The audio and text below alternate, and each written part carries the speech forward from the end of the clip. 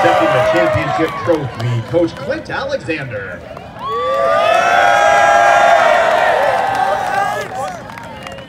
Great job, you guys. Ladies and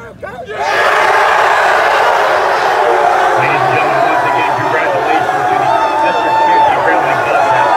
Once again, they will be moving on next week at Rockford. Make sure you check out the MHSAA website for the date and time for that game. And gentlemen, it has been our pleasure hosting you here this evening at Goodrich High School. Once again,